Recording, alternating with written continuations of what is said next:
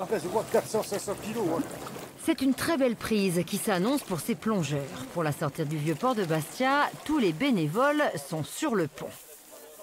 En guise de pêche miraculeuse, une vieille structure métallique, c'est surtout une pollution de moins dans les eaux du bassin.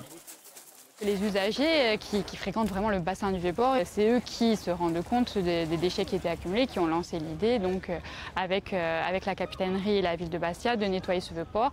Euh, bon, la première année, on avait rempli trois camions bennes. Cette année, il y en a beaucoup moins, donc ça veut dire quand même, au fur et à mesure, ce Vieux-Port est nettoyé. Il est peut-être plus respecté aussi. Et sous l'eau, ce n'est pas la seule évolution constatée par les participants à cette opération nettoyage d'avant-saison. S'il reste de gros encombrants, il y a surtout de nouveaux résidents. Ce qui fait plaisir, c'est qu'on voit que la vie revient dans l'avant-port. On commence à retrouver des oursins, du rouget, des, jolies petites castagnoles. C'est ça qui fait plaisir. On se dit on ne travaille pas pour rien.